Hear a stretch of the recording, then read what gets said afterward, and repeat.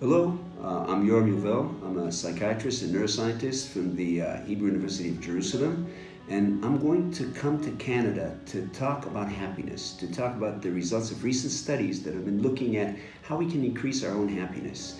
And they've pointed at some uh, somewhat unexpected directions. For example, that the way to make ourselves absolutely happy is not to go for absolute pleasure. It's actually the other way around. If we're going to try to make our lives as pleasurable as we can all the time, we're, we're going to be miserable.